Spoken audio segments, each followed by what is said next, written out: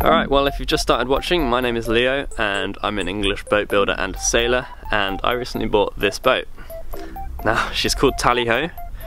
She was built in 1910 in England. She was designed by Albert Strange and she was once a well-known sailing yacht. But like many boats, she was neglected and left to rot for decades and very nearly destroyed. Now I got hold of her in a small port in Oregon on the west coast of the States and since then I've moved her up here to Washington State and I've organised a workshop here and a place to live and I've got to do a full rebuild on this boat from the keel up and then hopefully I'm going to sail her back to the UK. So there's a lot of work to do and I'm about ready to get started. I've just got to clear out some timber from inside the boat, uh, organise a place to put that and then I should be ready to get stuck in.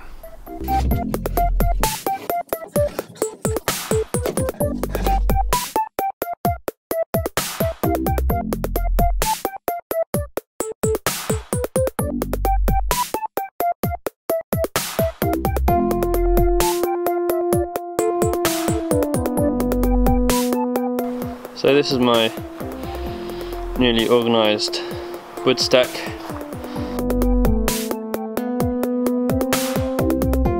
Now in clearing out this area, which was a horrendous mess before, found the air compressor, also uncovered big extractor. Just wired up some lights this morning, dodgy wiring but it seems to work.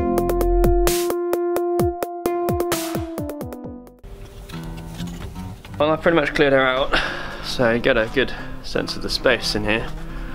So this is the bow of the boat. And coming to amidships and aft. You've got what would have been a butterfly hatch above me. That would have been the main companionway there. And then the furthest opening aft, that's the cockpit. You can see a nice hook scarf in the stringer. 21 and a half. I think that is original handwriting from 1910. Pencil marking that probably would have been preserved underneath the paint. That's pretty amazing.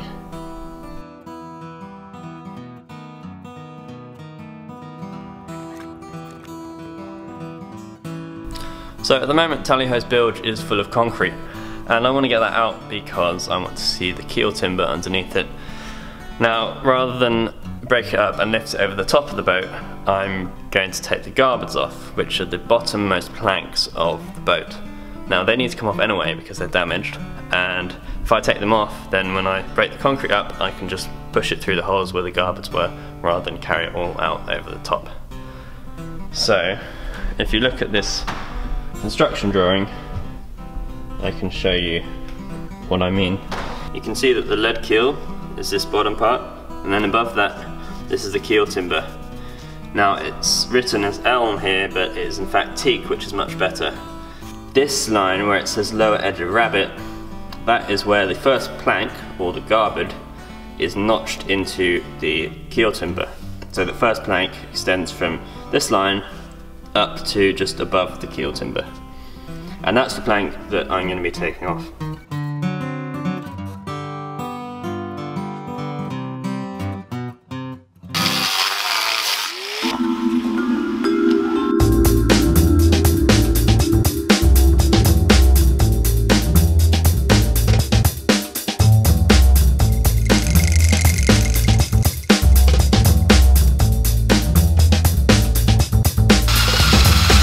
So there we go.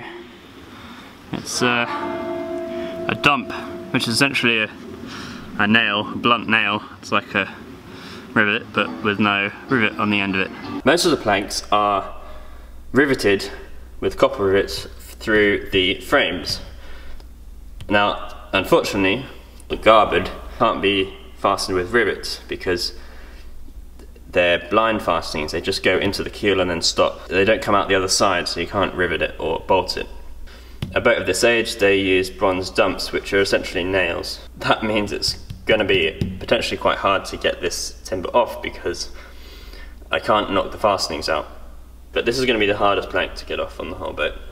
If I can get them all out like this, it would be great. But I suspect they won't all be as loose as this one.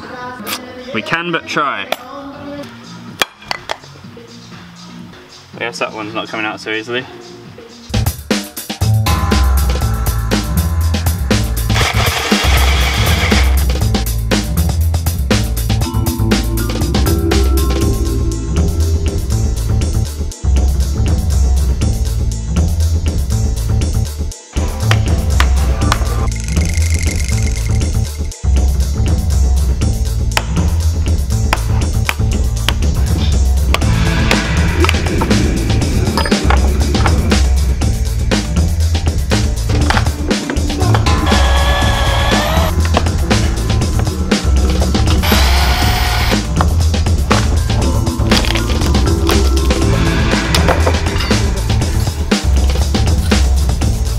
So I got half the first garboard off.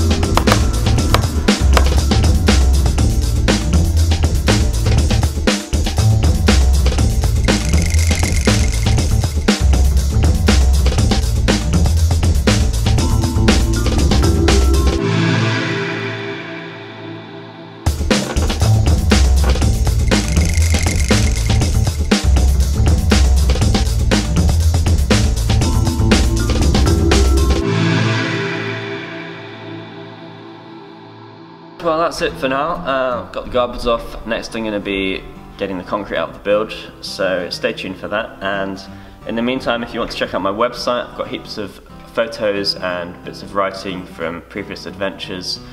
Uh, things like crossing the Atlantic on my own in a tiny little wooden boat with no engine or GPS, um, sailing an old classic ketch up to Greenland for a summer, that sort of thing. So uh, check that out and you can donate to the Tally Ho project if you want to on that site as well. And yeah, that's all. Have a good one. Thanks for watching. Please subscribe if you can and see you next time.